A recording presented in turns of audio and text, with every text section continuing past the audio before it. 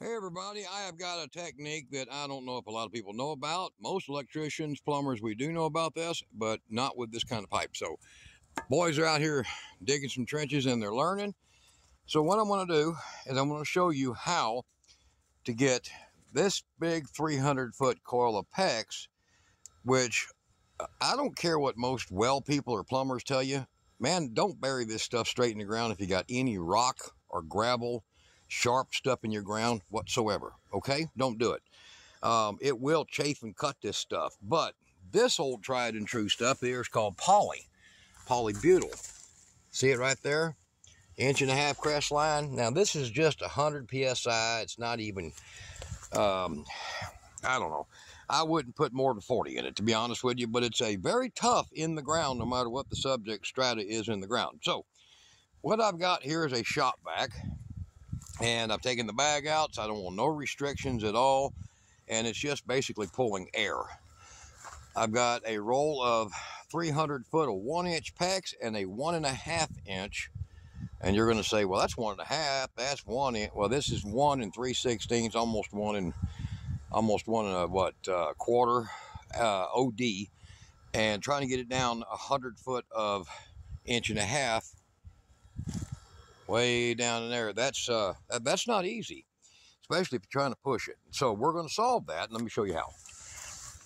I've made an adapter that goes inside on the end of my vacuum that fits this pipe.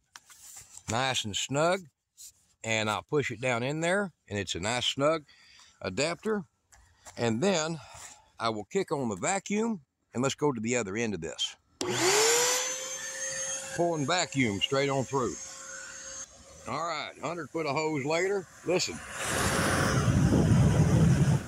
There's your vacuum. Now what I've got is I've got this and I'll put a link to this kind of rope below the video if you want to know what kind to use. It is a poly rope. It's basically PVC, but it's made the same material as this stuff is. And you've seen this everywhere, but there's certain types you want to use. It's got to be pretty slick. And then I'm going to tie a little cloth on the end that is going to be about the size of our pipe here. I want you to look at that. And off she goes. And goes. And goes. So I want to work this down.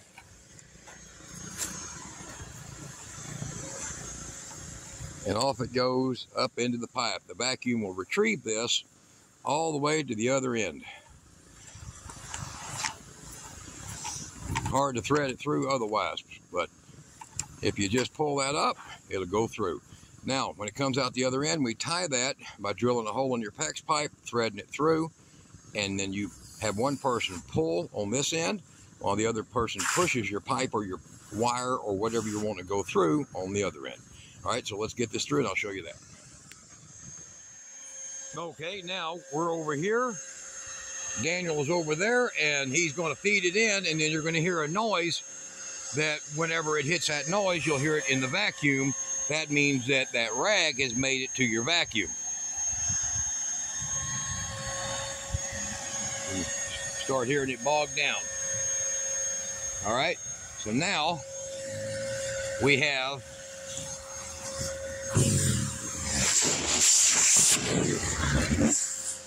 the other end.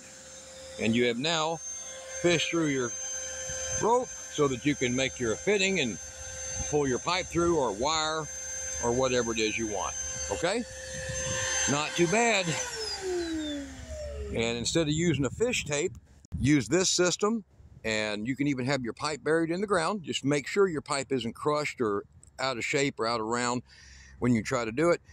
But if you put in solar or wind power and you want to bury power lines, poly pipe's all you need there's hardly a code in the world that tells you the DC wiring has to be in some expensive, um, you know, I do a lot of this and I use this for AC wiring, but you don't have to pay for that kind of pipe, conduit, sunlight conduit, whatever. You don't have to pay for that. This roll, whole roll, a hundred foot of inch and a half was only about $65 and it's one piece and it's just literally bulletproof stuff. Put your DC wire in that or gas lines or whatever you want to pull through it, you can pull through it using that system. All right, now that we've got it through, The next step is to just cut this off with a utility knife. And as you can see what I did here is I drilled a hole straight through. We'll just trim that off when we get it in where we want it. And you guys that see my videos, I want to show you something. This is one of those Bisway batteries.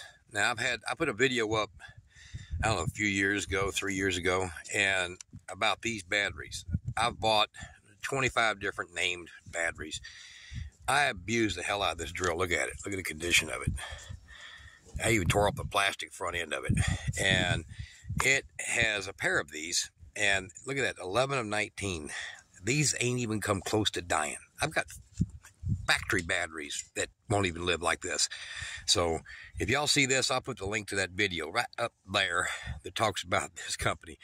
And like I said, it, who knows? They could be no different than anybody else, but I have never had a single one of these Bizways fail. That, that's my luck. So cutting this, we're going to put it on here, and then I'm going to feed it in. We're going to get this pipe through this 100-foot section. So um, after we get it through, we'll cut off the excess, and we'll kind of backtrack it to the little short piece we need on the other end. But there you go. Kind of nice, easy way to do this, and it pulls nice, real nice. Look at Daniel over there with the pick. Putting the fence down in the ground. Right, Daniel? Yep. You don't want his damn vegetables getting chewed up by the neighborhood's uh, four foot tall mice. Or is that his kid? I don't know. All right, so let me get this hooked up and I'll show you. Okay, now you can see how I did the rope on that. I just used some electrical tape. You see that? and I just did a double knot. Now these will get a little tighter as there's pressure pulled against them and this will go sliding nicely inside of that pipe. It's not a problem.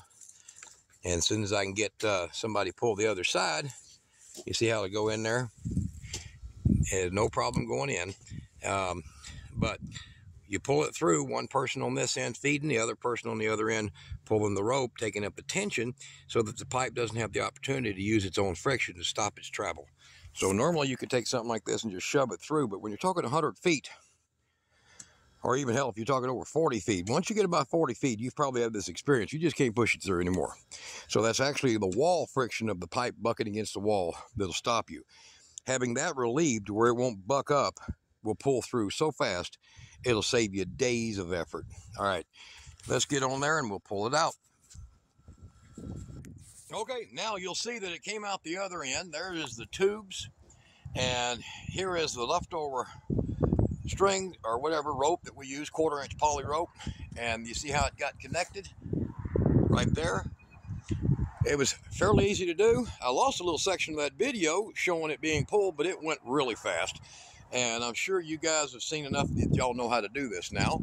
And there is the uh, three quarter inch line and the one inch line. The three quarter is for the rain flow back from our tanks behind the building to go to a tank over here that'll be inside.